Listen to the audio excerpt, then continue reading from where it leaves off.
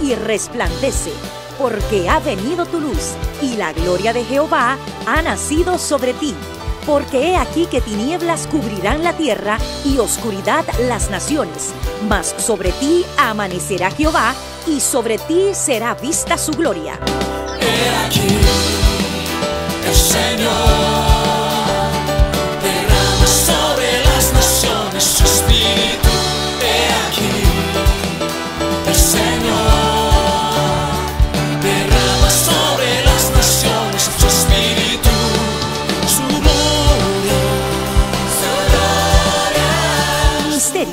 El Amanecer de la Esperanza presenta su programa Voz de Restauración con el pastor Juan Radamés Fernández.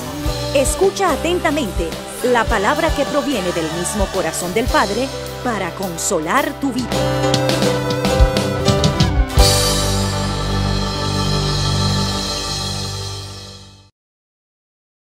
Mi hermano, mi hermana, como siempre es un motivo de gran alegría poder saludarte en el nombre de Jesucristo nuestro Señor, de parte del Señor y de parte de tus hermanos de las iglesias del Ministerio del Amanecer de la Esperanza.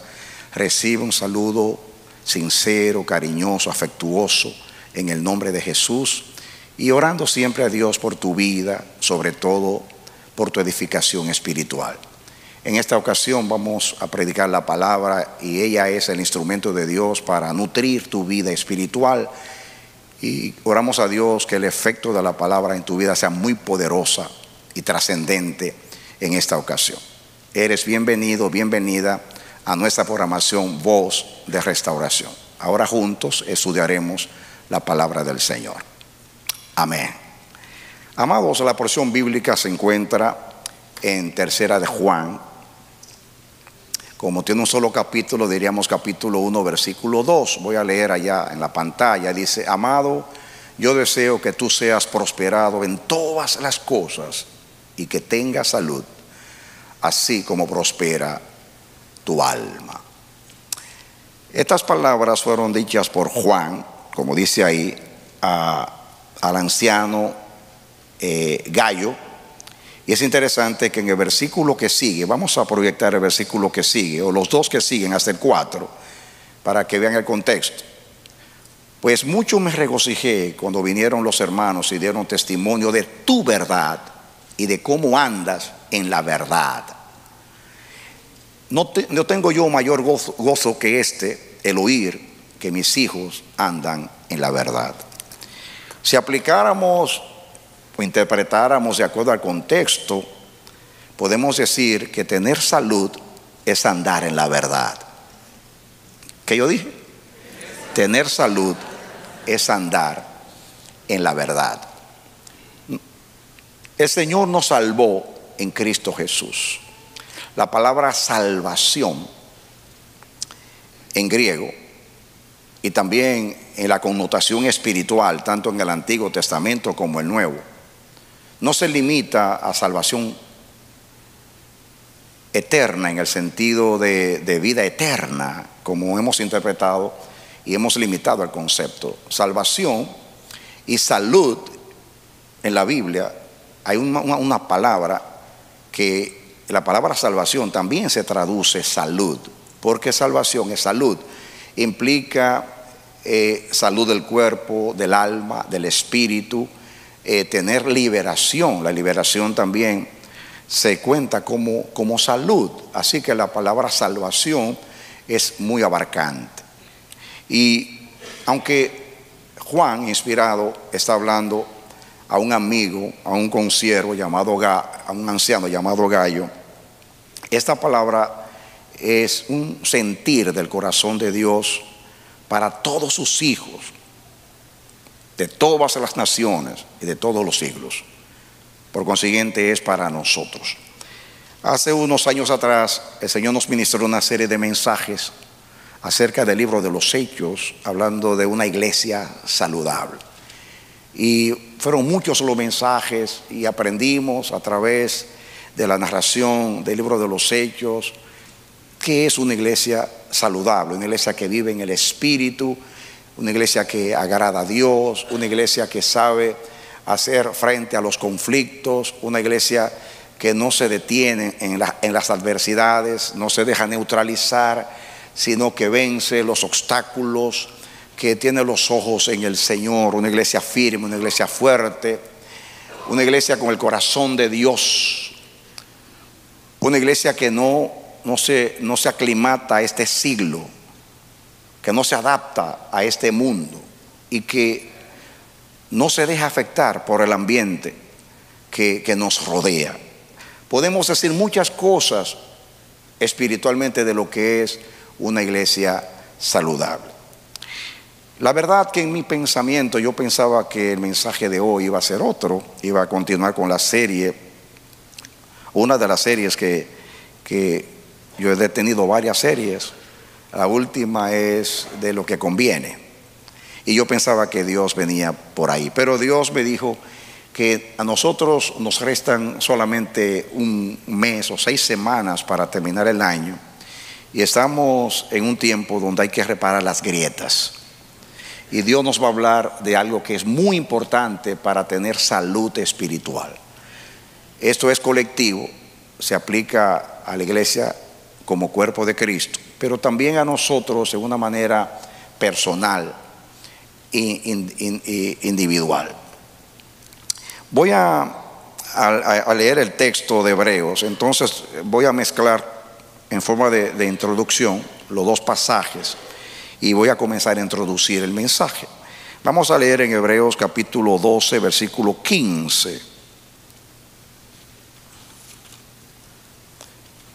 ¿Lo tienen conmigo? ¿Lo tienen ahí? Muy bien. Ahí está. Dice, mirad bien, no sea que alguno deje de alcanzar la gracia de Dios, atención, que brotando alguna raíz de amargura os estorbe y por ella muchos sean contaminados. Dice aquí, mirad bien. Esta expresión es una alerta, un llamado a, a prestar atención, a estar bien atentos. Mirad bien.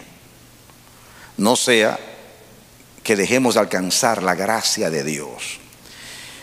Si aplicamos el contexto, vamos a decir que cuando en nosotros brota una raíz de amargura, primeramente dejamos de ser personas saludables, nos enfermamos. La amargura, aunque es un sentimiento, si nosotros lo anidamos en el corazón y no sabemos bregar con él, se puede convertir, como dice, en un mal extremo. Una amargura dice que estorba mucho, estorba a la persona y si esa persona no sabe administrar ese sentimiento carnal, humano, emocional, entonces puede contaminar a muchos. Así que la amargura ahí es como un virus, porque se contamina a otros. Entonces, es una causa patológica, es una causa de enfermedad o enfermedades. Todo lo que conocemos, los virus, las bacterias, en cuanto al cuerpo humano, cómo nos afectan, pues ahí dice que si contamina es porque es como un virus, es, es un agente que enferma, no solamente a la persona que lo contrae, sino también a los demás. Entonces, Dios quiere que hablemos un poquito de esto. La palabra que usa la, usa la Biblia eh, en el Nuevo Testamento usa varias palabras para, para referirse a, la palabra salud. Ya, ya yo le mencioné eh, la, palabra, la palabra que tiene que ver con salvación, que la palabra que donde viene la palabra soterología, que es estudio de la salvación. Y también esta palabra, esta palabra es la misma palabra de donde procede la palabra castellana higiene. La palabra castellana higiene procede de esta palabra que, usa Juan. Esa es la palabra jugiaino. De ahí procede la palabra castellana conocida por higiene, que naturalmente significa tener salud, estar sano, tener buena salud, tener buena higiene. Ustedes saben que la higiene tiene mucho que ver con la salud.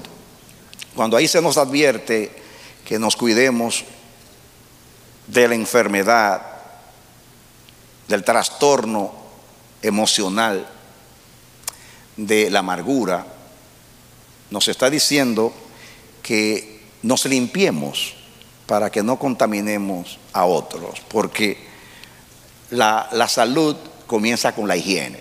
Donde hay higiene, hay salud. ¿O no es así?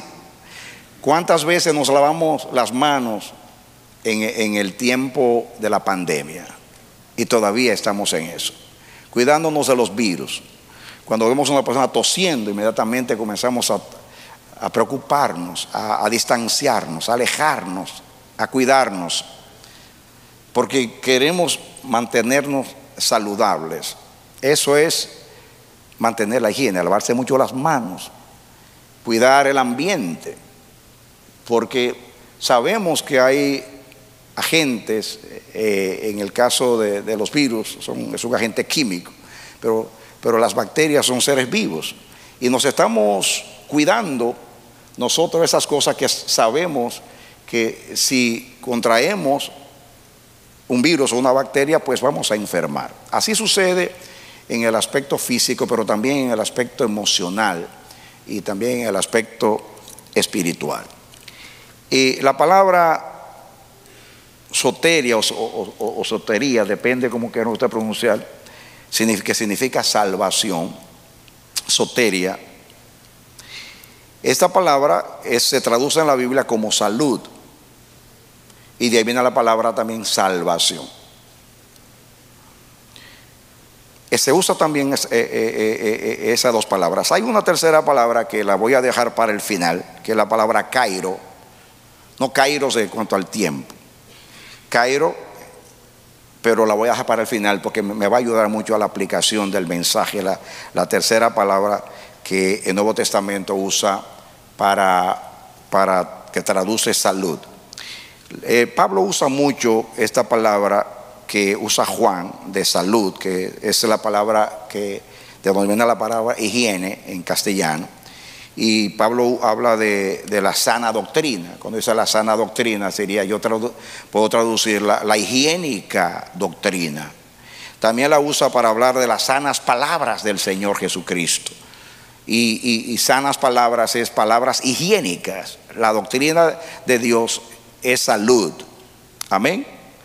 Mientras la carne enferma, el espíritu es el que da vida, es el que da salud. Muy bien. Así que la, doctrina, didascalía, esa es la palabra enseñanza. La enseñanza, toda enseñanza de Dios produce salud, es, trae higiene. Igualmente las sanas palabras del Señor Jesucristo, como habla en primera de, de, de, de Timoteo 6.3. En Tito 1.13 y 2.2 eh, habla, de, habla, de, habla de, la fe, aplicándola a la fe como, como algo, como también salud. La fe es, es, también es higiene, trae salud. Y Pablo habla de guardar la sana doctrina, guardar la sana palabra y, también guardar la fe. Que la fe tiene mucho que ver con, es, es salud, porque de ella, de es el medio de salvación. El justo vivirá por la fe. Pero yo quiero solamente para introducir eh, los términos que usa la Biblia para hablar de sanar o de la palabra, la palabra sanidad. Concentrémonos, me gusta esta, esta, esta palabra donde me la palabra higiene, porque es una palabra para nosotros familiar, muy, muy conocida. Y, todos entendemos lo que es higiene y el énfasis que hay o la relación que hay entre la, la salud y, y, la higiene. Continuemos hablando un poquito acerca de, ya, ya ustedes vieron lo que dice Hebreos en el capítulo 12, versículo 15, de cómo eh, la advertencia del apóstol es que nos cuidemos de que no nazca en nosotros una raíz de amargura, ya que nos va a estorbar en nuestro caminar con el Señor.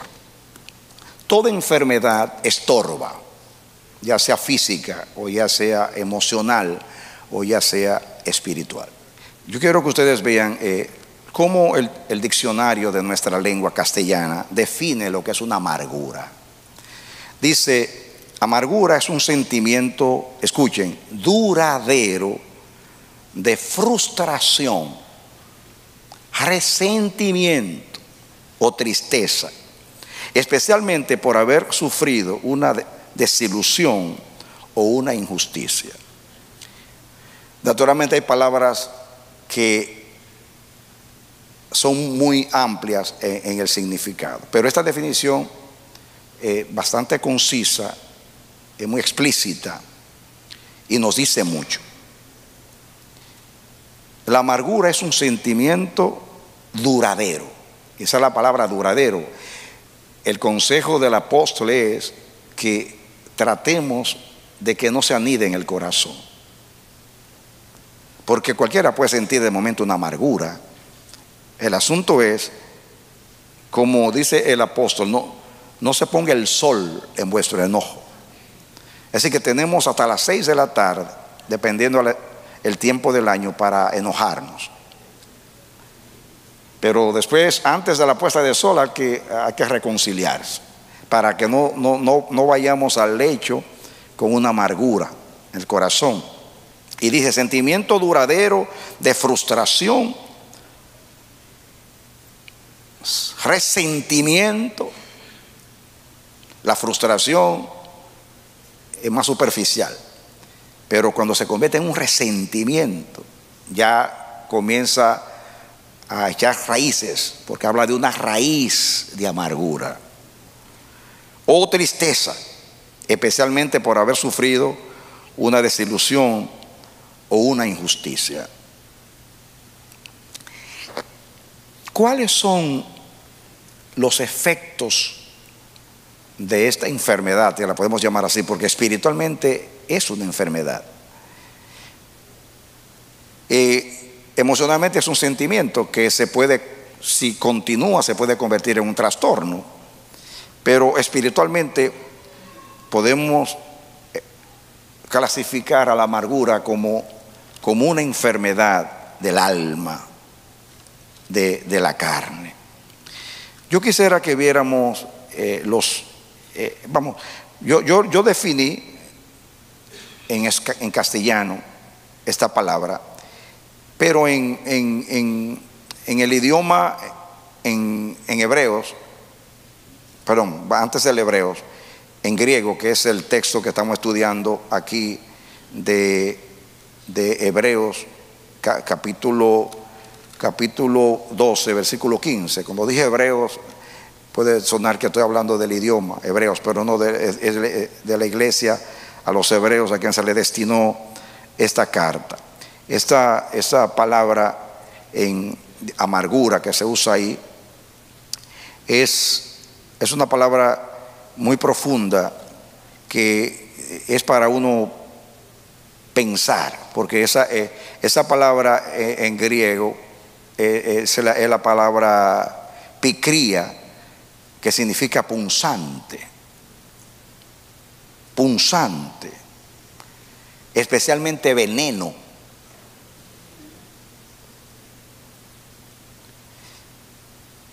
Y viene de una palabra que significa, tiene la idea de atravesar o de perforar algo agudo o puntiagudo. Por eso se traduce punzante, se traduce amargo, amargura. Pero la idea es algo que penetra, algo que atraviesa. Y dice la definición específicamente un veneno que cuando entra, ya ustedes saben lo que pasa en el cuerpo. Quiere decir que la definición misma en griego nos da una idea del efecto que produce la amargura en nuestras emociones, en nuestros sentimientos, en nuestra mente. Es algo punzante, algo que penetra. Por eso el apóstol dice, mirad bien, no sea que alguno deje de alcanzar la gracia de Dios. Yo entiendo que alcanzar la gracia de Dios ahí es, es no, traten de no bloquear la gracia. Porque cuando entra una raíz de amargura, la gracia es neutralizada en nosotros. Ya no podemos ver bien, no podemos oír bien, no podemos percibir bien. Nos afectamos, daña nuestro interior, daña nuestra relación con Dios, daña nuestra relación con los demás y nos hace ver lo que nos rodea de una ma- manera oscura y negativa. Es un veneno. La amargura es un veneno. Penetra, es punzante, como un cuchillo.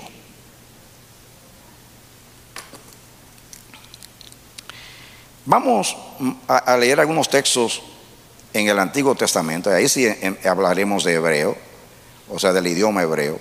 Pero eh, es bueno, quiero, quiero la palabra amargura que se usa en, hebreo, es la palabra mará.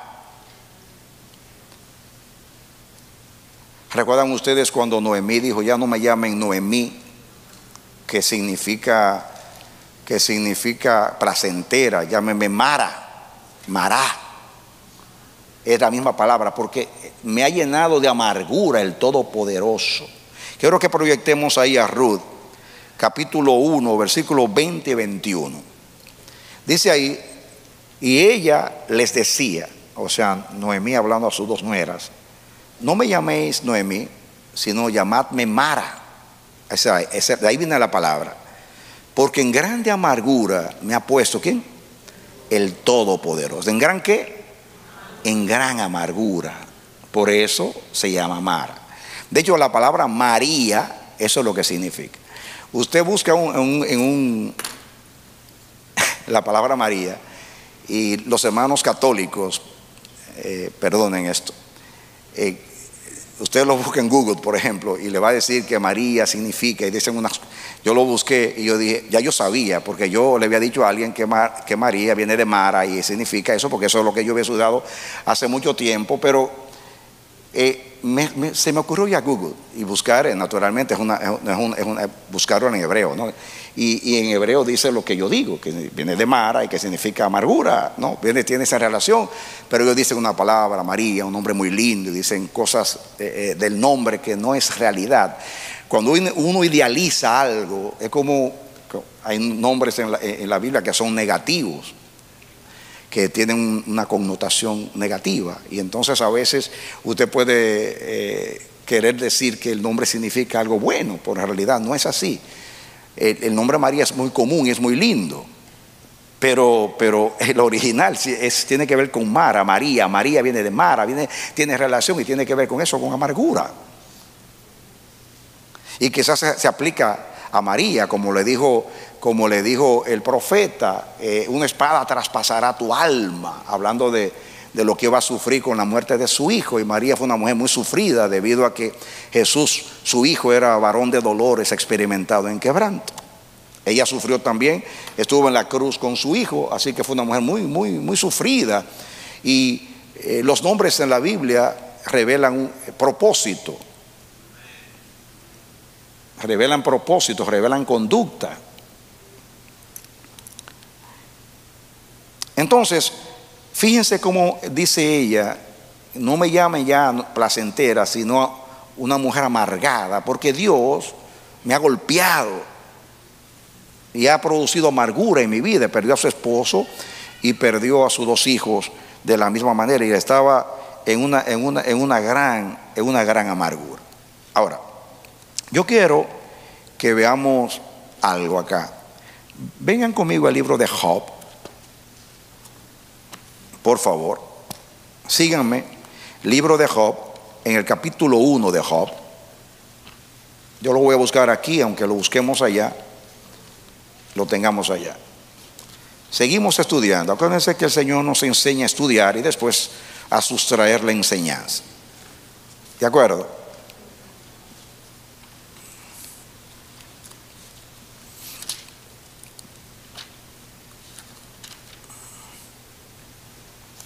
Capítulo 1 de Job. A ver, ahora le voy a decir el versículo. Comencemos a leer desde versículo 8 en adelante. 1.8 en adelante, de Job. Dice, Jehová dijo a Satanás, ¿no has considerado a mi siervo Job, que no hay otro como él en la tierra, varón perfecto y recto y temeroso de Dios y apartado del mal? ¿Y qué sigue diciendo? Respondió Satanás a Job y dijo, ¿acaso teme Job a Dios de balde? Ustedes saben la historia de Job, las acusaciones del diablo. Ahora, vamos, pasemos al capítulo 2. Capítulo 2 y el versículo 7 en adelante, 2, 7 en adelante. Entonces salió Satanás de la presencia de Jehová e hirió a Job con una, ¿qué? una sarna maligna desde la planta del pie hasta la coronilla de la cabeza. Una sarna desde la cabeza hasta qué? Hasta los pies. ¿Y qué sigue diciendo el 8? Y tomaba Job un tiesto para rascarse con él. Es un pedazo, un pedazo de barro, de una vasija de barro. Y, estaba sentado en medio de la ceniza. Cuando usted rompe un, vaso de barro y, toma un pedazo, eso es un tiesto, y con eso se rascaba para quitarse los insectos, me imagino, y todas las cosas. Fue algo muy terrible. Ahora, solamente quiero que ustedes vean la sarna de Job. Ahora, miremos cómo Job se refiere a, esa, sarna, a esa experiencia.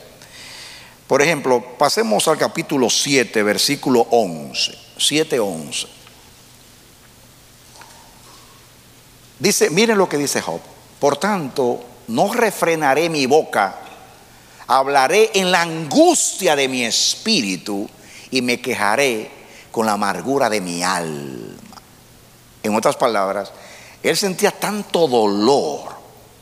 Y ahora, escuchen, leí el primer texto para que veamos que el dolor comienza físicamente. en una sarna desde la cabeza, desde la coronilla de la, la cabeza hasta los pies. Pero ahora algo físico se convierte en algo almático. Ahora pasa a ser un sentimiento de dolor. Por tanto, no refrenaré mi boca. Hablaré en la angustia de mi espíritu y me quejaré con la amargura de mi alma. Diga, me quejaré. Muy bien. Entonces, la amargura trae como efecto las quejas. Las quejas. Diga quejas. Muy bien. Pasemos al capítulo 10, versículo 1. Estamos estudiando, ¿no? Dice, está mi alma hastiada de mi vida. Ya eso no es físico. Daré libre curso a mi queja. Hablaré con amargura de mi alma rienda suelta a mi queja. No me voy a callar. Job no pudo detener el dolor físico. Y el dolor físico se le convirtió en un dolor almático, emocional, mental. Y ustedes todos saben que ese desenfreno del, que él mismo se propone, yo no me voy a callar, voy a hablar. ¿Cómo dice ahí? Mi alma está hastiada, no le daré libre curso a mi queja. Voy a soltar a mi queja. ¿Saben ustedes? Job se enojó con Dios. La discusión era con los amigos que lo acusaban, pero la acusación directamente era con Dios. Si ustedes conocen el libro de Job, saben que Job habló de Dios cosas muy, muy fuertes, muy fuertes. Miren, ahí mismo, en ese, eh, eh, sigan un poquito ahí, lean el 2 para que vean. Dice aquí, diré a Dios, ¿a quién es que le está diciendo? A la queja, a Dios. No me condenes, hazme entender por qué, por, por qué contiendes conmigo. Él interpretaba que Dios tenía una pelea con él. Así, yo no quiero, miren el versículo que sigue, dice, ¿te parece bien que oprimas? que deseches la obra de tus manos. Yo soy, yo soy una criatura tuya y tú me estás oprimiendo y que favorezcas los designios de los impíos. Eso es muy fuerte. Le está diciendo a Dios injusto. Tú favoreces a los impíos y yo que soy justo, mira cómo tú me tratas. Ya un dolor físico se convierte en una enfermedad emocional, mental y espiritual. ¿Cuántas personas están enojadas con Dios? Porque oré hasta el final y no oyó mi oración. Estuve ahí con mi esposo de día y de noche en su lecho llorando y toda la iglesia oró por él y al final se lo llevó. Injustamente me despidieron del trabajo después de 25 años.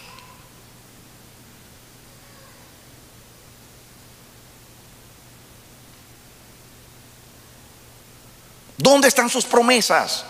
Pedid y se os hará, buscad y hallaréis. Busco y no encuentro. ¿Dónde están las promesas? ¿Cuántos están enojados por Dios porque mi mamá me abandonó? Porque fracasé en el matrimonio, porque mi esposo o mi esposa me fueron infiel, porque estuve enfermo y no escuchó mi oración como Job.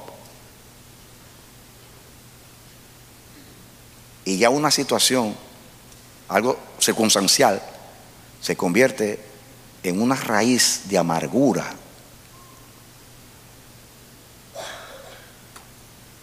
que produce quejas contra Dios. Miren lo que dice en el 23.2, Job 23.2. Dice, hoy también hablaré con amargura, porque es más grave mi llaga que mi gemido. En otras palabras, yo no me he quejado, ya, ya está en el capítulo 23, quejándose desde, desde, el capítulo 2. Y dice que todavía, dice, dice, él está diciendo, porque, porque es más grave mi llaga que mi gemido. Y diga la palabra llaga, porque vamos a hablar de eso. La amargura es una llaga. Diga qué, una qué, una llaga. ¿Qué fue lo que produjo amargura en Job? La llaga, la sarna. Pero no, no solamente el aspecto físico, porque Dios le quitó los hijos, la salud, la mujer se le fue, los amigos lo acusaban. Fueron muchas cosas. Y ya esa llaga pasó de ser una llaga física a una llaga almática o emocional espiritual.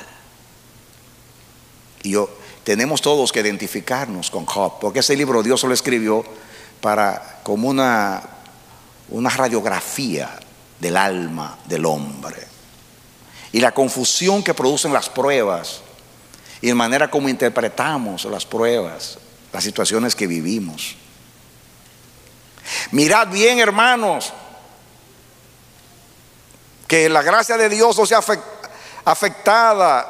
en el fluir en vuestras vidas. No permitan que ninguna raíz de amargura se apodere de ustedes y os estorbe y ustedes contaminen a los demás. Porque, amados, las, las quejas son contagiosas. Las quejas son contagiosas.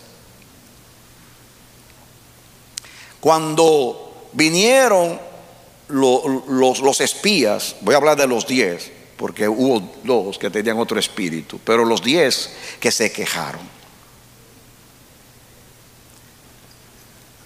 Todo lo que dijeron era verdad.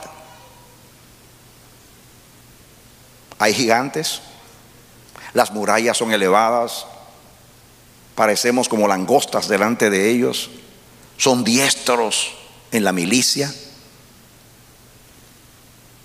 Dijeron la verdad, pero dijeron, esto es imposible. Nosotros no podemos jamás pelear y conquistar a Canaán. Entonces comenzaron a buscar defectos a la tierra. Y ese espíritu de quejas dice que en un momento toda la congregación se contaminó. ¿O, no han leído la Biblia? De tal manera que eso fue lo que costó que Israel no entrara a la tierra prometida. Ahí fue que Dios se enojó de tal manera. Estoy cansado de ver este pueblo murmurando contra mí. Entonces, diez quejándose, lograron que más de un millón de personas recibieran la contaminación de la raíz de amargura. Eso sucede constantemente en la iglesia, entre nosotros. Generalmente cuando las iglesias se dividen es porque aparece un Corea, Datán y Avirán que comienza a propugnar cualquier descontento. Como quieren liderazgo, entonces comienzan a buscar defectos a los líderes para que la gente comience a perder la confianza en los líderes y ponga la confianza en ellos. Eso es común. Corea, Datán, Avirán, todo en la Biblia, todo aquel que anhelaba anhelaba eh, eh, ministerio o anhelaba liderazgo, se rebelaba contra la cabeza, y propagaba un descontento, entonces eso contaminaba a todo el mundo. ¿Recuerdan ustedes? Bueno, muchas veces no son quejas. Eh, Absalón se quería ganar el corazón del pueblo. Pero, ¿qué comenzó a decir? Aquí el rey está muy ocupado, el rey no te atiende. Ay, si me eligieran a mi juez de esta, nación, el caso tuyo es muy bueno. Yo puedo ser abogado tuyo.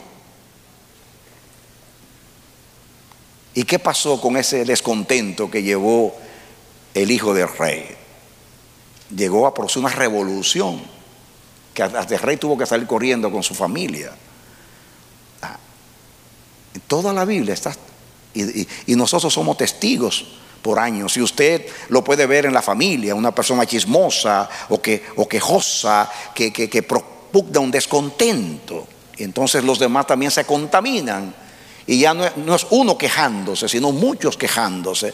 Imagínense, entonces el pueblo comenzó a quejarse. Miren ustedes, se quejaron de tal manera que a Moisés perdió la paciencia en, otra, en una ocasión. Ya no pudo más.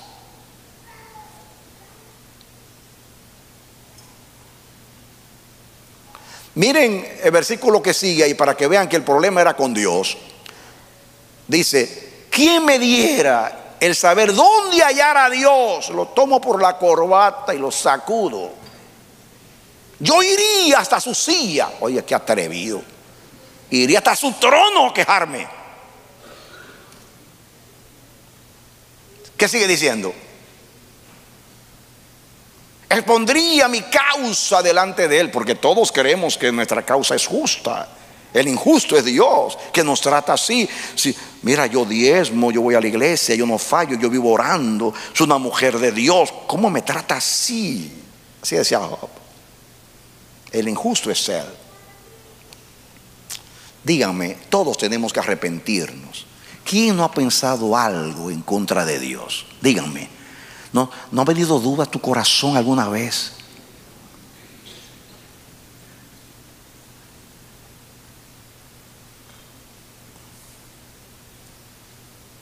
Y yo puedo seguir leyendo, pero el tema mío no, no, es Job, es que ustedes vean el efecto de la amargura. La amargura contamina, estorba, produce quejas. Y según la Biblia, miren lo que, vamos a, a, Éxodo capítulo 16. Éxodo 16. A ver, ¿dónde tengo el pasaje aquí?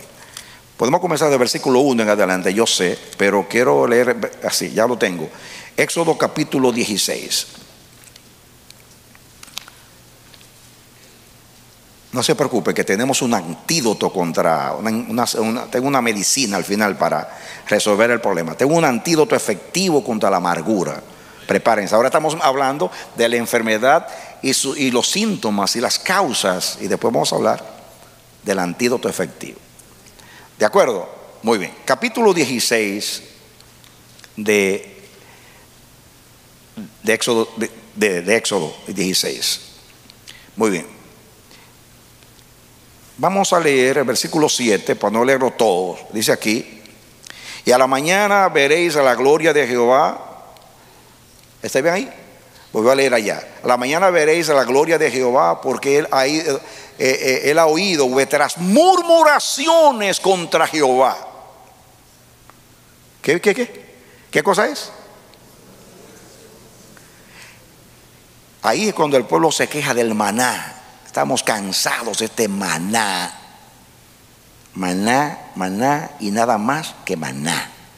Y querían ajo, cebolla, carne de Egipto, todas esas cosas.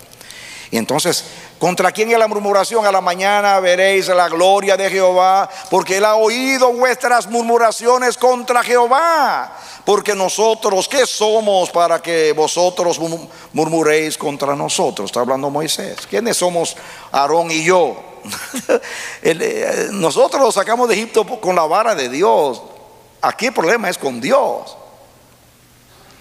Toda murmuración, oiga bien, toda murmuración, aunque sea contra el papá, contra, contra el amigo, contra la esposa, es contra Dios. Toda murmuración es contra Dios. Te voy a decir por qué. Porque el dueño de tu vida es Dios. El que prometió guiar tu vida es Dios. El que administra tu vida es Dios. Y si tú te quejas por algo que no, que, que, mm, que no te gusta, si hay algo que tú no apruebas y tú te quejas con quien sea, en último análisis, la queja es contra Dios. Porque Dios es el responsable de tu vida. No es la esposa, no es el esposo, no es el co- compañero de trabajo, nadie. La queja, no importa dónde se origine, es contra Dios. Porque si usted entiende que de Jehová son los pasos del hombre y que Dios no aflige innecesariamente a sus hijos y que a los que aman a Dios todas las cosas les ayudan a bien y que nada pase en mi vida por casualidad, al azar o fortuitamente, sino que Dios tiene un plan con mi vida y usa hasta el diablo cuando quiere lograr algo en mí. Así que ni contra el diablo me quejo, ni contra nadie. Y perdóneme Dios a mí por las tantas quejas.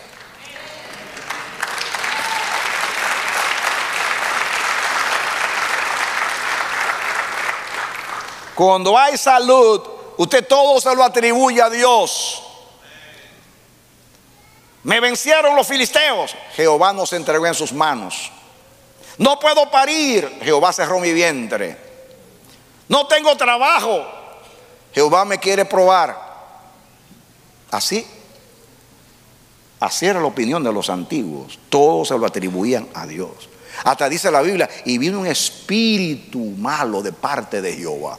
Uy, hasta los espíritus malos los manda Dios. ¿Usted no está de acuerdo conmigo? Lea su Biblia. No trate de interpretarla, léala. La Biblia es su propio intérprete. Amén. ¿O es extraño que venga un espíritu malo de parte de Jehová? ¿O no, no permitió Dios a, a- a Satanás que entrara en la vida de Job, hiciera y deshiciera? Siempre con una limitación, una limitante. Hasta aquí llegarás. Jesús le dijo a Pedro, Pedro, el diablo te me ha pedido para zarandearte, pero yo he orado por ti para que tu fe no falte. Pero lo entregó a Pedrito, por confiado en sí mismo, lo entregó. Y a Israel también vino un espíritu malo de parte de Jehová. A Saúl también. Señor es soberano.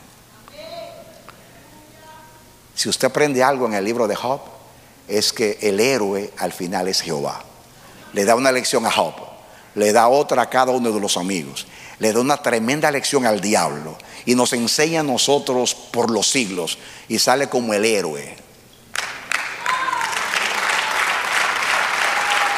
Sale como el bueno, el perfecto, la manera hermosa como el drama de Job le dio oportunidad a Dios para mostrarle a Job, Job, y tú hasta blasfemaste mi nombre, pero yo, yo, yo conozco tu corazón, porque hay algo bueno que hizo Job, que para mí fue lo mejor que hizo, que a pesar de todo su dolor, y aunque murmuró a Dios, nunca soltó a Dios, lo agarró y le dijo, yo no te suelto. En otras palabras, estuvo con Dios todo el tiempo, no se alejó de Dios, altercó con Él, peleó con Él, dijo cosas indignas de Dios, pero se mantuvo con Dios. Y Dios te entiende cuando tú lloras, cuando tú te sacudes, cuando tú dices cosas terribles, cuando y Dios dice, yo te entiendo, hijo. Desahógate, desahógate, desahógate. Yo soy tu padre, desahógate, yo te entiendo. No estoy de acuerdo contigo y desapruebo tu conducta de esas quejas, pero yo te entiendo. No te voy a abandonar por eso, yo soy, yo soy tú. Si yo te someto a aflicción y uso la circunstancia para enseñarte, ¿cómo te voy a enseñar madurez si no te disciplino? ¿Cómo va a salir lo malo de ti? Tiene que salir lo malo de ti. Te tengo que depurar. Te tengo que pasar por el fuego para que salga de ti todo eso que no es oro.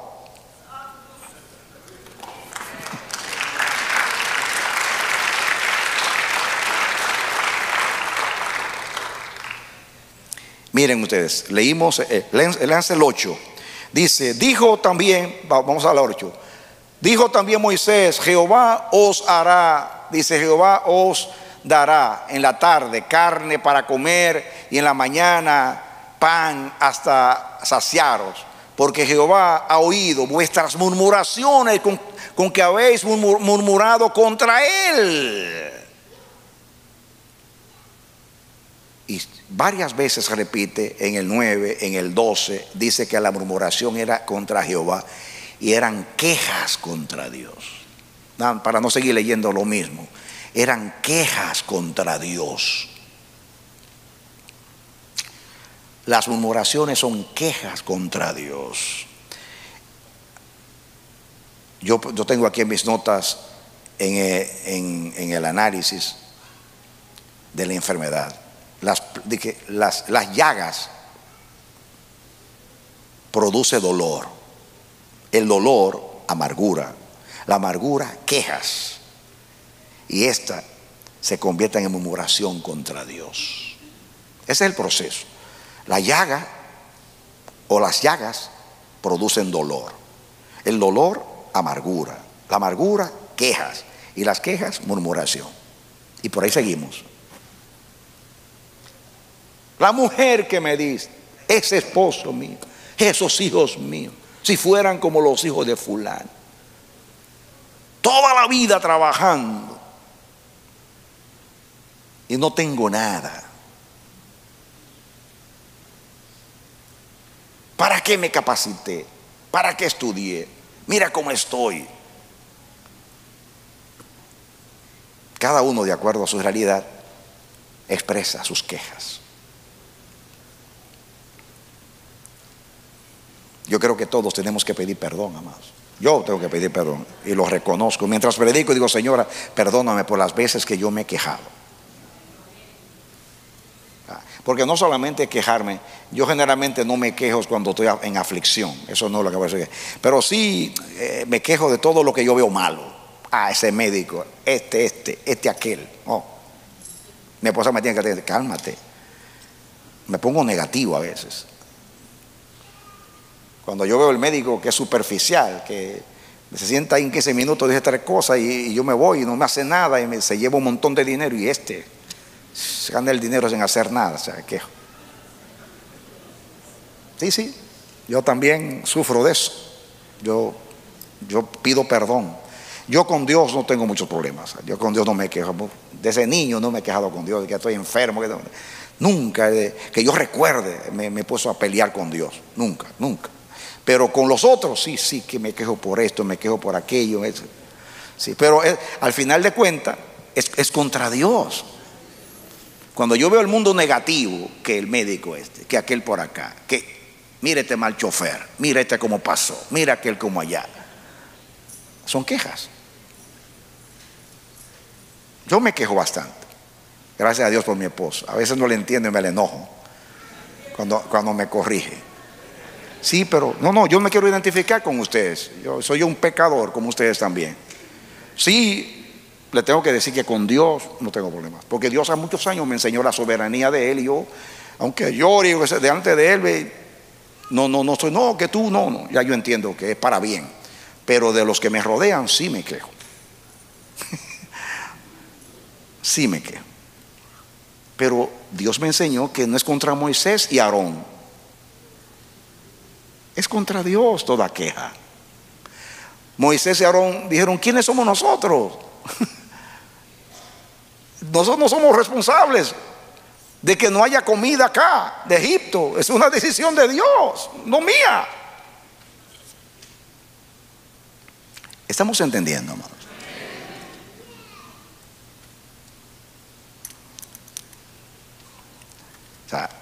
Yo estaba en el hospital y me hicieron un cascán. Y el tipo me pasó tres veces por ahí. En una vez, dos veces. Yo sé la radiación que tiene eso. Yo salí de ahí y me pues qué terrible. me va- Yo no sé, tengo la cara sucia o qué. Que este me quiere matar metiéndome tres veces por ahí, sabiendo yo. Estoy en Charlo, estoy saliendo del aeropuerto y voy a pasar por la máquina y paso por la máquina. Eh, eh, eh, y, y- y tipo pasa y me voy a salir, no metete otra vez y otra vez. Y salir y me metió tres veces. Y usted me quiere matar a mí. Tres veces. Ya la cuarta yo, mamá, mamá, mamá, revísame y me desnudo si tú quieres, pero ya, me va a matar. ¿No le ha pasado a ustedes algo, algo así? Sí. Nos pasan cosas a veces y nos quejamos. Que la fila está larga, que se retrasó el avión, que yo pagué y ahora me quieren cobrar por la maleta. Santo Dios, son unos ladrones. Yo uso mucho esa palabra, son unos ladrones. Perdóname, Señor. Si estoy viviendo la vida de Cristo, la vida eterna, yo voy a decir, Señor, gracias. Gracias porque soy digno de ser probado y tú me estás probando. Y si tú me estás probando, algo malo tiene que salir de mí y tú me quieres enseñar paciencia y, y- y tengo que pagar un precio porque la prueba produce paciencia. Así que Señor, tú me estás bendiciendo. Gracias Padre.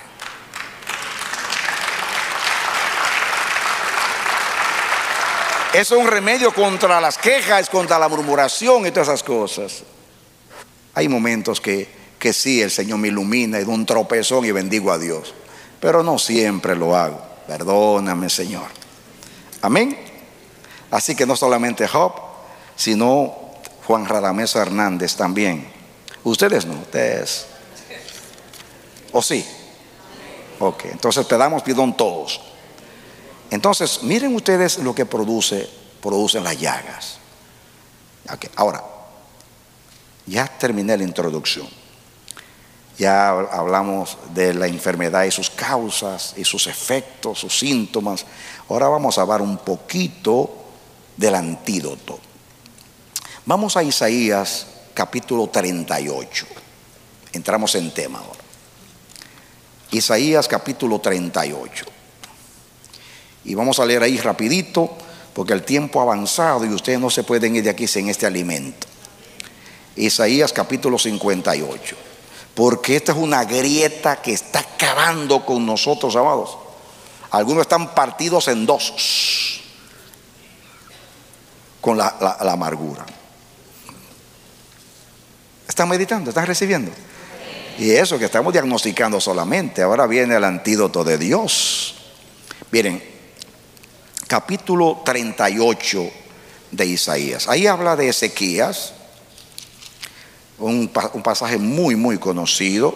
Ustedes, voy a comenzar a leer el versículo 1 rapidito para llegar al texto que yo quiero. Dice, en aquellos días Ezequías enfermó de muerte y vino a él el profeta Isaías, hijo de Amós, y le dijo, Jehová dice así, ordena tu casa porque morirás y no vivirás. La tremenda sentencia. Entonces volvió Ezequías su rostro a la pared e hizo oración a Jehová. Sigan. Y dijo, oh Jehová, te ruego que te acuerdes ahora que he andado delante de ti en verdad y con íntegro corazón y que he hecho lo que ha sido agradable delante de tus ojos. Y lloró Ezequías con gran lloro, diga amargura. Sigan. Entonces vino palabra de Jehová a Isaías diciendo, ve y a Ezequías, Jehová Dios de David, tu padre, dice así, he oído tu oración y viste y he visto tus lágrimas, he aquí que yo añado a tus días 15 años. Sigan rapidito ahí. Y te libraré a ti, a esta ciudad, de mano de rey de Asiria, y a, y a esta ciudad ampararé. Y esto te será señal de parte de Jehová, que Jehová hará esto que ha dicho.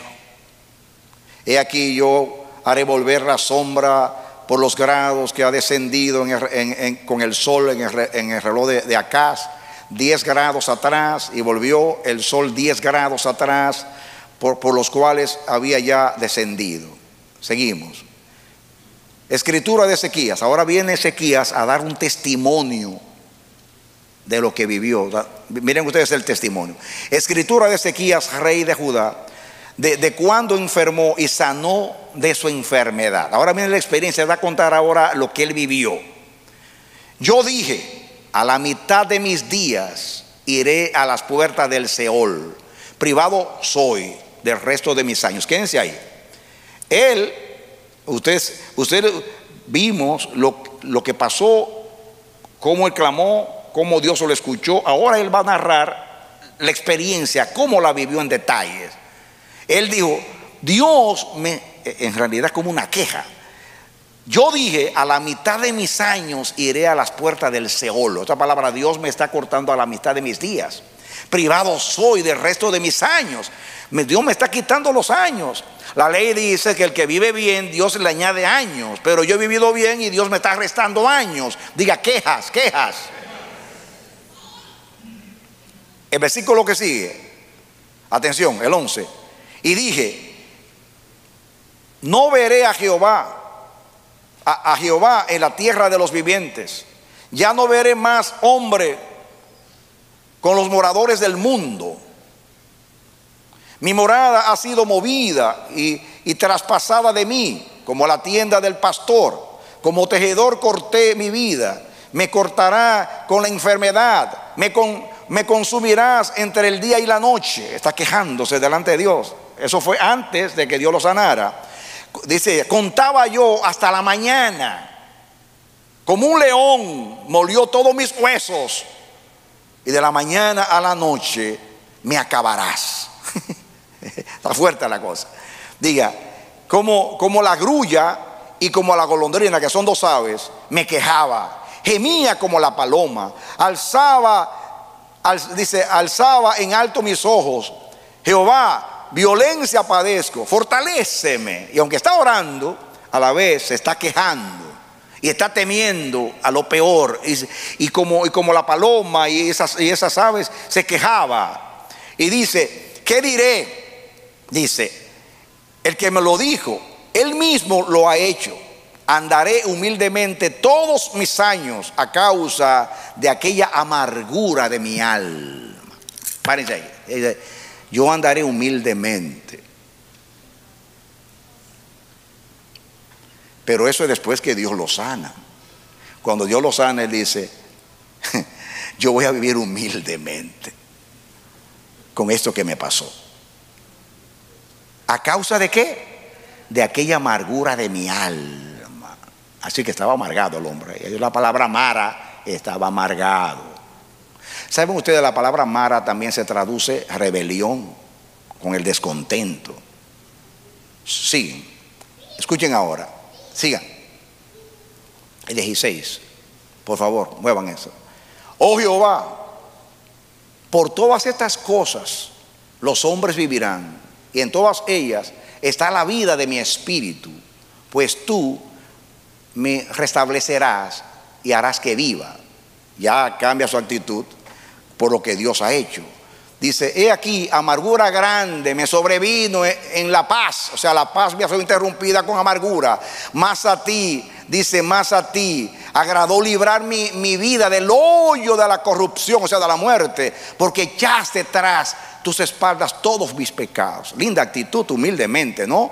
Pero escuchen, porque el Seol no te exaltará ni te alabará la muerte, ni los que descienden al sepulcro esperarán tu verdad. Está alabando al Señor. Ahora, el que vive, el que vive, este te dará alabanza, como yo hoy. O sea, está alabando al Señor por su bondad. El Padre hará notoria tu verdad el, Padre hará notoria tu verdad a los hijos. O sea, yo voy a contar a, mis hijos lo que tú hiciste por mí. Está alabando, está reconociendo a Dios. Están dando humildemente porque Dios oyó su amargura y tuvo misericordia de él. Sigan ahora. Jehová me salvará. Por tanto, cantaremos nuestros cánticos en la casa de Jehová todos los días de nuestra vida. Termina la amargura, comienza la alabanza. y había dicho Isaías, ahora viene el versículo clave. Y había dicho Isaías, eso es previamente, tomen masa de higos y pónganla en la llaga y sanará. Dejen ese versículo ahí. Pongan, ¿qué cosa? Masa de higos y pónganla en la llaga y sanará. Estamos estudiando acerca de la llaga de la amargura. Y Dios aquí elige el higo para sanar la llaga. Ahora, que yo sepa, la enfermedad que tenía Ezequías era una enfermedad de muerte. Así, eso no era un problemita de la piel. El hombre tenía una enfermedad que ya iba a morir. Eh, no sé lo que es o lo que era, pero era algo serio, serio, serio. El diagnóstico era de muerte. Si el higo tuviera esa propiedad para sanar toda llaga de lepra, de cáncer, todo el mundo estuviera comiendo higo y poniéndose masa de higo. Pero que yo sepa, el higo no tiene esa propiedad. Pero en esa ocasión le plugo a Dios, le dio la gana a Dios usar el higo. E, es como el Señor le dijo a, a, a Naamán, ve, zambúllete siete veces en el Jordán. Y tu lepra sanará. La pregunta, ¿tiene, ¿tiene las aguas del Jordán propiedad curativa para sanar lepra? Si fuera así, todo el mundo fuera a zambullir allá.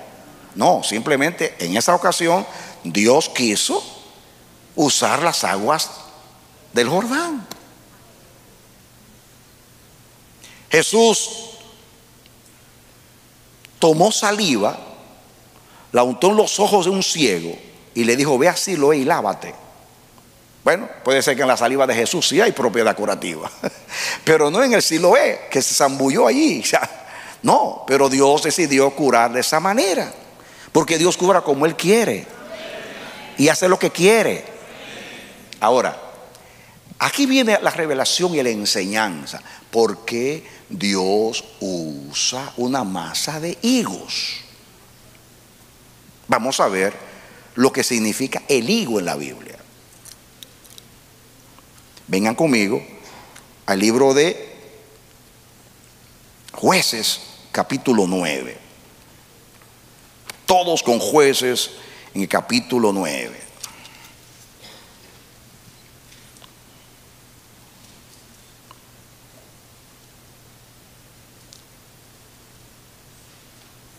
Muy bien. ¿Lo tienen conmigo? Muy bien.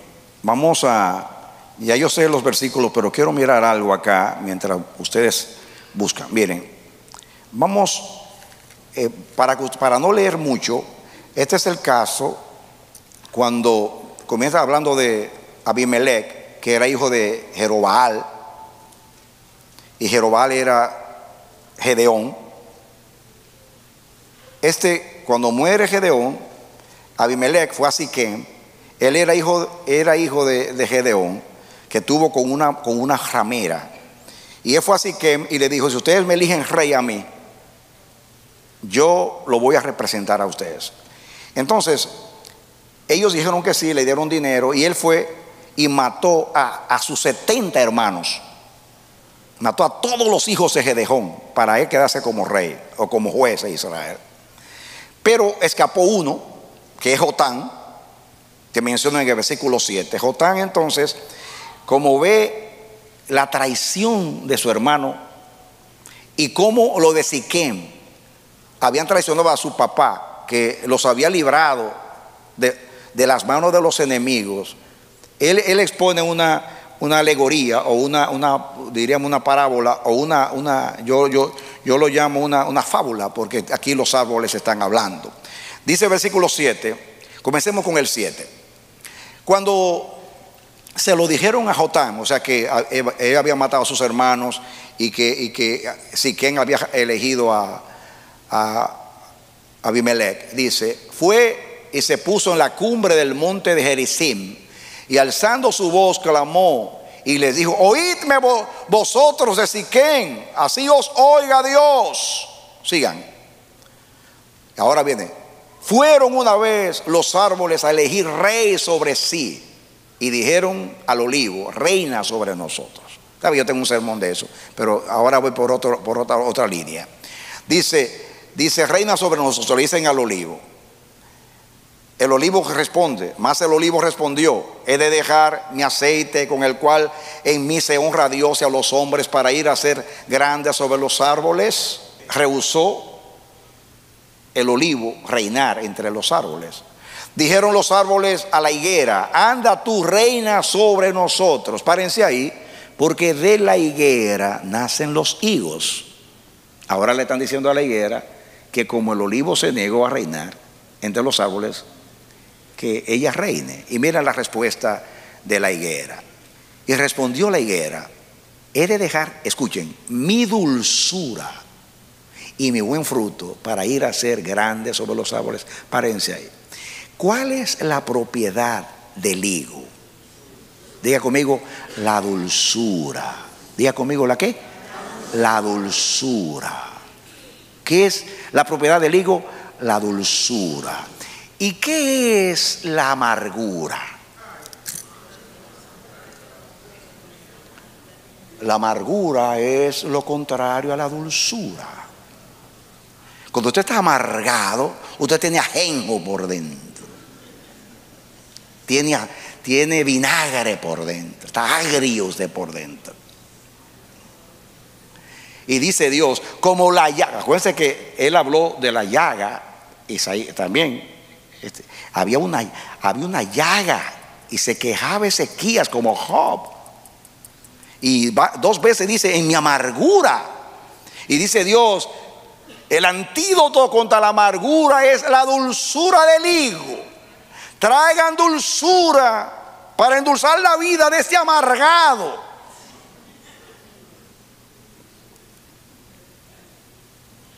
Y espiritualmente Usted necesita ser endulzado cuando usted está amargado. Miren lo que, lo que pasó también después con la vid, algo parecido. El versículo que sigue.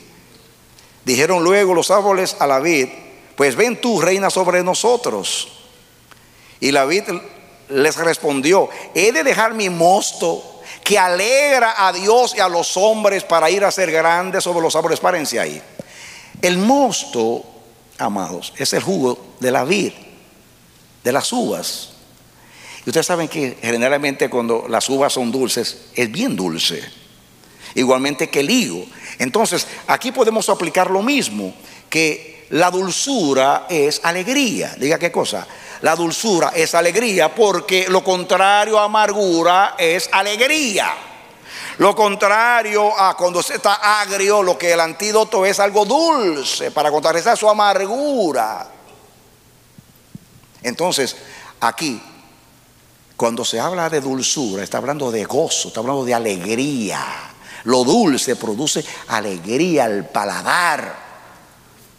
Y cuando usted está amargado, usted necesita la dulzura de Cristo, la dulzura del Espíritu, la dulzura de la buena palabra de Dios.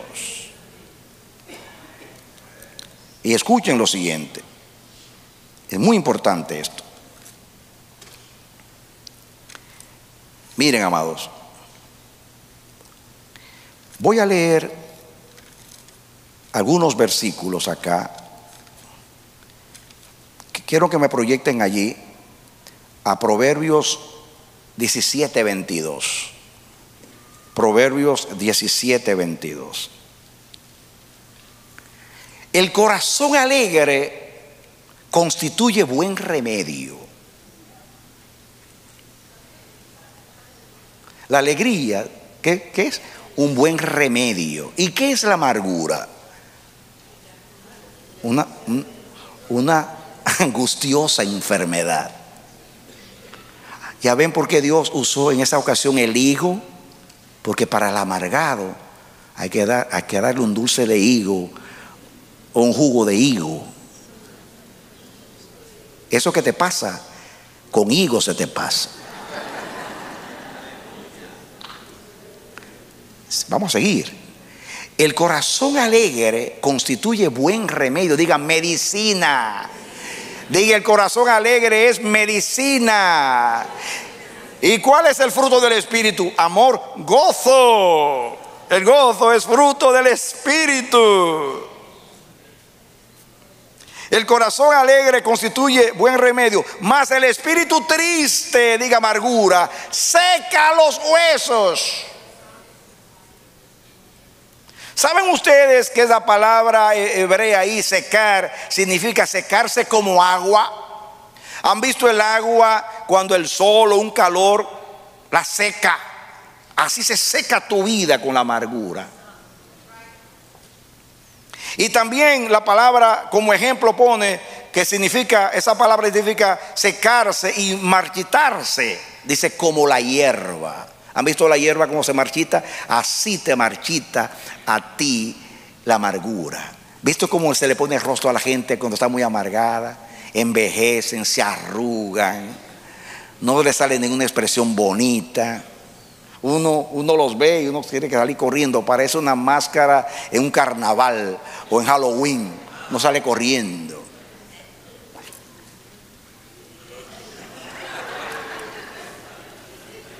Este parece que se levantó con el, con el pie izquierdo hoy.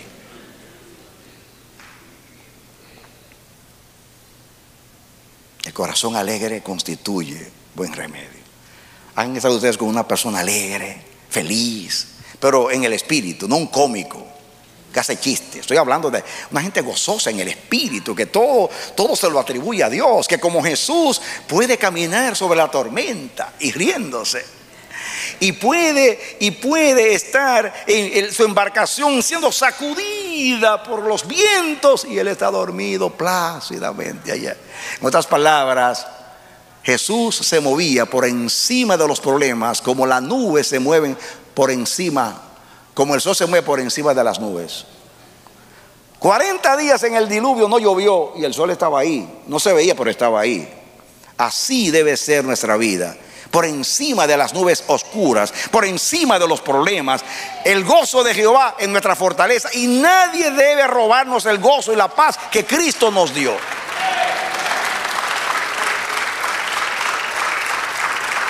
Amén. Otro texto, Proverbios 15, 13. Proverbios 15, 13.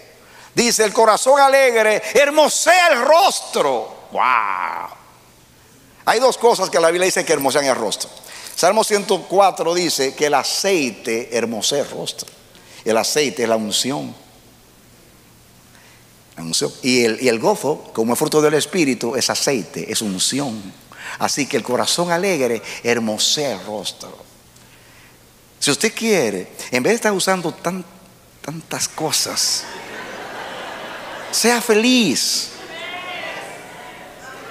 Sea feliz. Tanta crema y tantas cosas. Sea feliz. Hay gente que no se ríe porque cree que, que la risa produce arruga. Porque para reírse hay que movilizar 26 músculos de la cara, dijo alguien una vez. Yo no los he contado, pero sé que hay que mover. Y para hacer una mueca hipócrita también. Hay sonrisas que terminan de una vez. Pero cuando la risa es fruto del espíritu, wow, eso es hermoser rostro. Amén. Una persona feliz, hermoser rostro, hermoser rostro. Ay, hermanos, yo quiero vivir así. Esa es la vida eterna. La vida eterna es vivir en la tierra como se vive en el cielo. ¿Ustedes creen que Dios está lleno de ansiedad porque, porque la gente está haciendo lo que está haciendo? No, no, no, no. Nadie mueve a Dios ni a su trono. No. Él sigue siendo Dios, pase lo que pase. Y tú tienes que ser lo que tú eres, venga lo que venga. Amados, yo te voy a, te voy a dar un consejo. Cuando salgas de aquí, cómprate una masa de higo y pásala por tu llaga. Sea cual sea tu llaga. Porque si sanó a Ezequías, también te puede sanar a ti a mí. La dulzura que es alegría.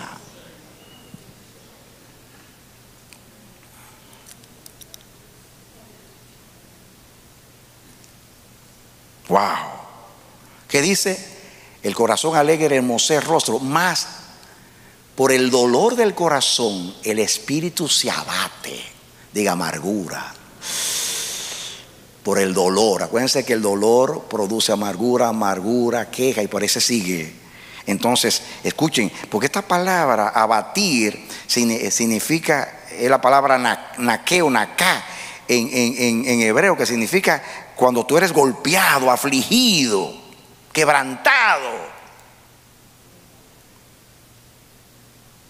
15:15 de Proverbios, ahí al ladito. Dice, todos los días del afligido son difíciles.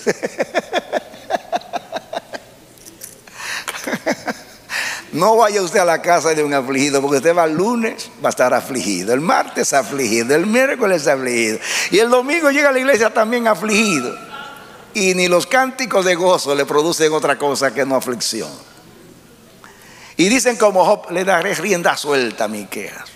Hay que ser realista. No puedo negar. El pastor me dijo que la fe no niega la realidad, sino que la vence. Sí, la vence.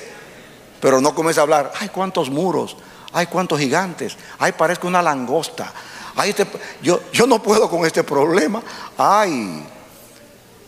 ¿Sabe qué dice el alegre y que tiene fe? ¿Quién eres tu monte delante del ungido de Jehová? Desaparecete de ahí. ¿Tú crees que tú me vas a quitar el gozo a mí? Esto es demasiado grande lo que Cristo me dio. Es vida eterna. Es la ley del Espíritu de vida en Cristo Jesús. Me murmura, gloria a Dios. ¿Qué nos dijeron de Jesús en Nazaret, mi Salvador? No me quieren. Yo no soy tan lindo como para que todos me quieran.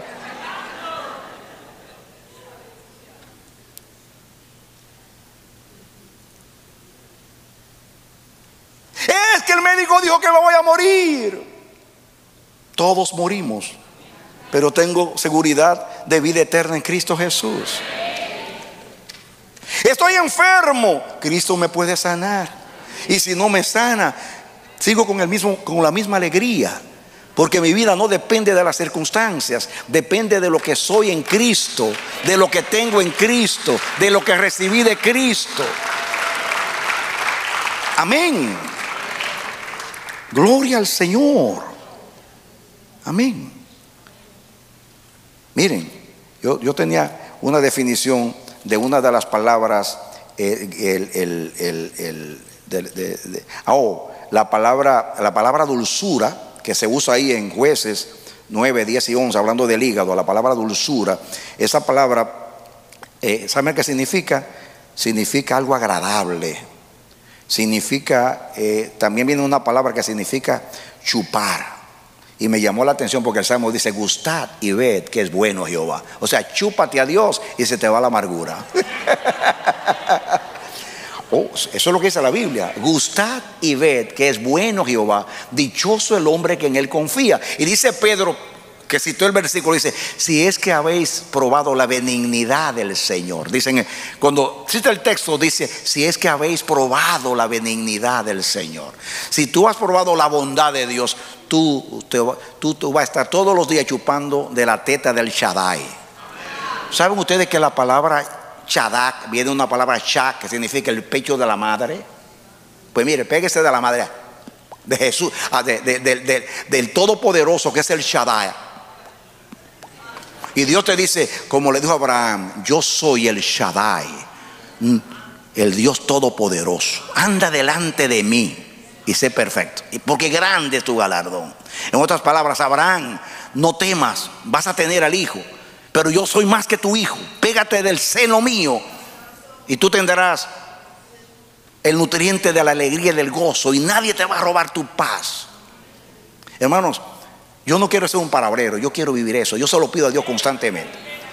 Yo le digo a Dios, yo no puedo estar enseñando la vida eterna, que es la vida de Dios, y yo viviendo como que no la tengo. Yo la tengo, la tengo. Ay, Gareth, la tengo, la tengo, la tengo. Y si la tengo, la voy a vivir. Y la vida, miren cómo vivió Cristo en la tierra. Varón de dolores experimentado en quebranto. Nadie sufrió como él, pero nadie vivió como él. Nadie lo amenazó, ni el diablo, ni la tormenta, ni los opositores. Invencible. Y esa es la vida que hemos recibido. Ahí está el remedio para contra la grieta o las grietas. Esta palabra significa deleitarse. La palabra dulzura, deleitarse, chupar, significa chupar, mamar, para probar que eso es dulce como usted hace con el higo. Mmm, sabe bueno. Así es Dios, es bueno. Y si Dios es bueno, entonces contrarresta todo lo malo con Dios. Y yo quiero terminar, porque el tiempo avanza, y, voy, a, voy, a, voy a terminar con un versículo muy conocido, y me lo van a proyectar ahí, Nehemías 8:10. El texto, graba este texto muy conocido. Dice, luego les dijo, o sea, Nehemías al pueblo, id, comed grosuras y bebed vino dulce. Mire, ¿cómo es el dulce? ¿Cómo el vino? Dulce. Enviad porciones a los que no tienen nada preparado, porque día santo es a nuestro Señor. No os entristezcáis, porque el gozo de Jehová es vuestra fuerza o sea, vuestra fortaleza. Aquel pueblo estaba llorando cuando, cuando Esdras le leyó la palabra y se sentían pecadores y se, tenían la, tristeza de haber ofendido a Dios, una linda tristeza, pero era ese, estaban celebrando la fiesta, de, las cabañas y de, las trompetas y estaban, y entonces le dice, es un día santo, eso, hoy no es un día para estar llorando. No, gócense en el Señor. Otras palabras, está bien que estén arrepentidos y que tengan tristeza porque han ofendido a Dios, pero ya el Señor nos perdonó, no se llenen de tristeza, porque el, perdón de Dios, la bondad de Dios, la gracia de Dios, lo que hemos recibido de Dios es nuestra fuerza y nuestra fortaleza. Amén. Y esa palabra en, hebreo esa palabra se traduce algo fortificado, se traduce, se, traduce defensa. En otra palabra, el gozo de Jehová es mi defensa, mi defensa contra las quejas, mi defensa contra la adversidad, mi defensa contra los adversarios, mi defensa contra todo lo que venga, y mi defensa, es mi escudo. Voy a contrarrestar todo lo que me quiere producir amargura y tristeza con el gozo del Señor. Esta palabra se traduce también inexpugnable. Y inexpugnable es algo, es algo que no se puede, algo que es imposible de conquistar. Eso es inexpugnable, imposible de alcanzar o de vencer. Eres, nadie te podrá vencer a ti, nadie te podrá hacer frente todos los días de tu vida. Hermano, el antídoto es la masa de higo. Y el que crea la profecía, cómprese una masa de higo proféticamente, como símbolo, como tipología, compre higos y endúcese la vida hoy.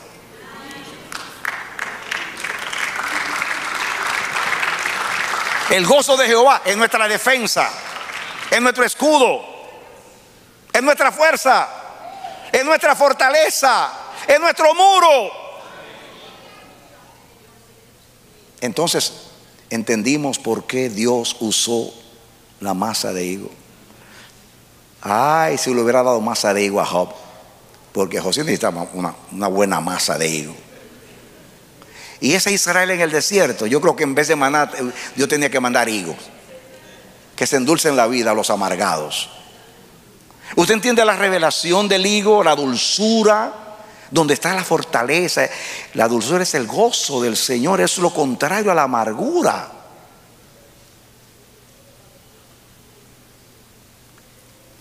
Dios no quiere que tú veas este mensaje como algo muy bonito, muy revelado. No, no, no, no, no. Algo tiene que pasar. Nos quedan seis semanas, creo, para terminar el año de las grietas. Y si hay algo que está agrietando nuestras vidas y nuestras relaciones con Dios, con la esposa, con los hijos, con el esposo, con los amigos, con los compañeros y con los hermanos en la iglesia y los consiervos, es la amargura. Dile al Señor hoy, ayúdame Dios. Tú me salvaste para yo ser feliz. Tú me salvaste para vivir la vida eterna en la tierra. Por favor, permite que nada me afecte. Amados, esto es serio para mí. Yo lo pido, hoy se lo pido al Señor. Dame eso, dame eso. Lo quiero. Lo quiero. A veces uno hereda actitudes negativas y quejosa, viendo todo mal. Y, y, escuchen, no significa que las cosas no están mal, pero tú no estás mal. ¿Tú entendiste?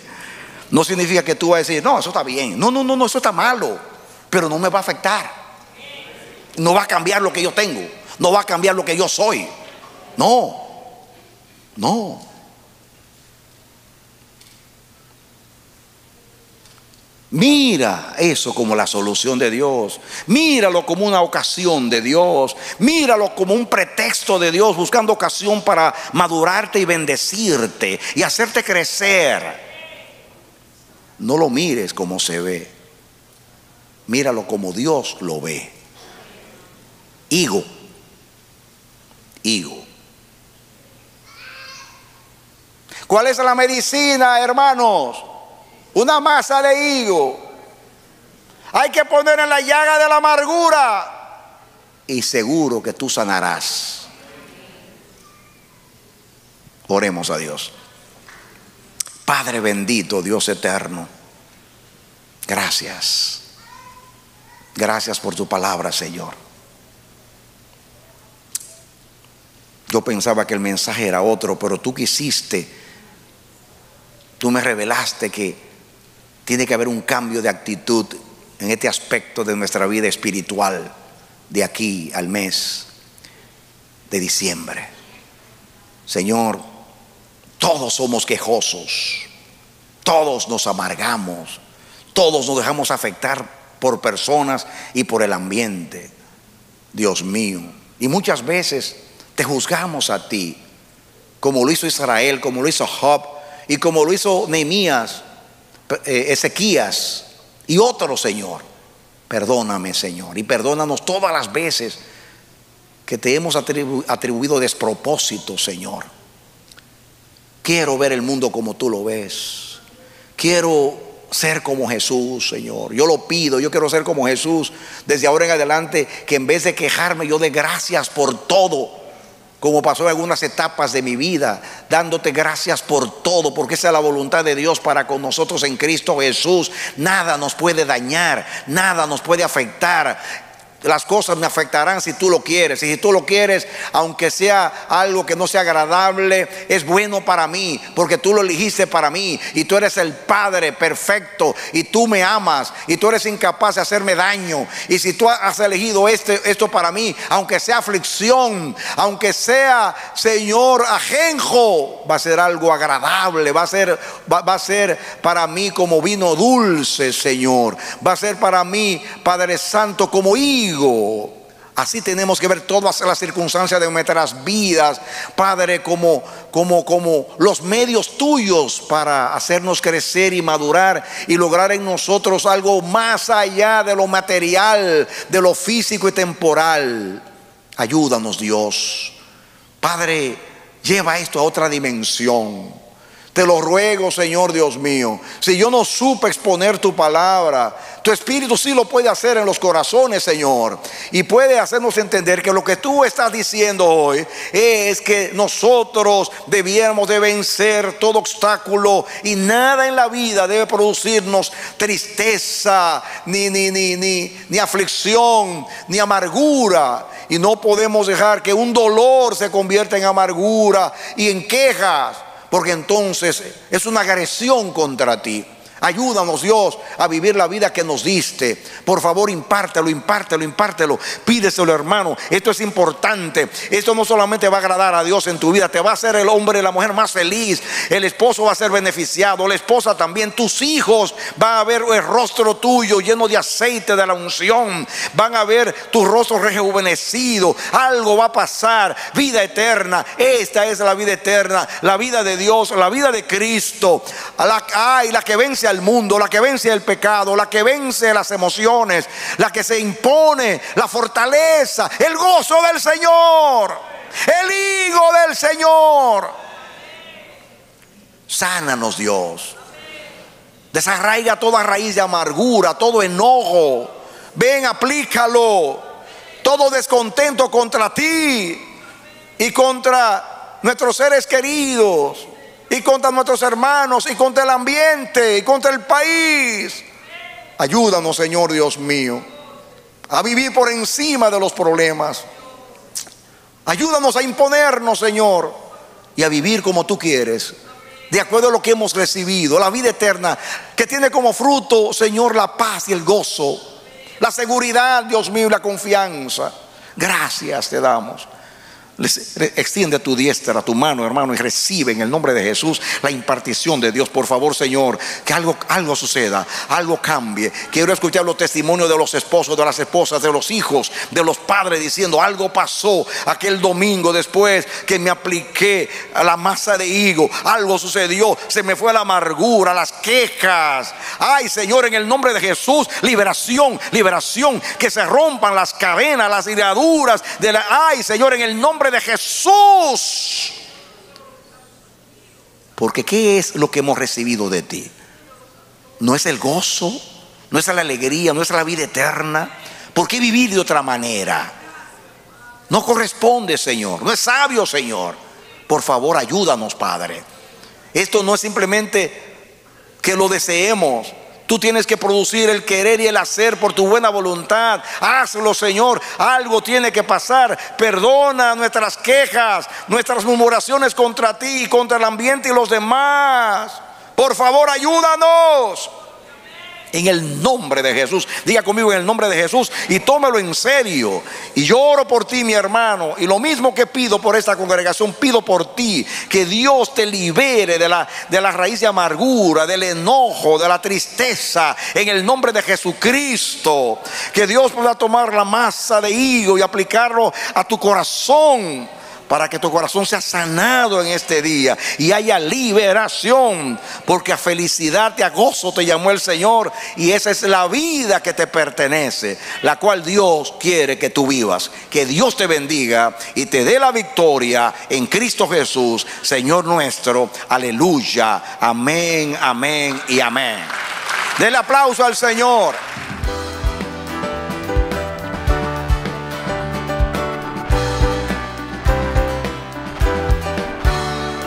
Ha sido su programa Voz de Restauración. Si desea comunicarse con nosotros, escríbanos al PO Box 70, Bronx, New York 10473 o visita nuestra página web www.elamanecer.org. Nos despedimos hasta la próxima. Que Dios te bendiga.